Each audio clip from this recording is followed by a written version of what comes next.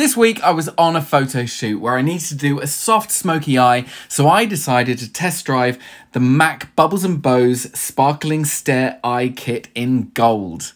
I started off by using Painterly Paint Pot from the kit to even up the skin tone on the eye before the eyeshadow. I then went in with coffee eye pencil and smoked it out to get a little soft smoky lash line.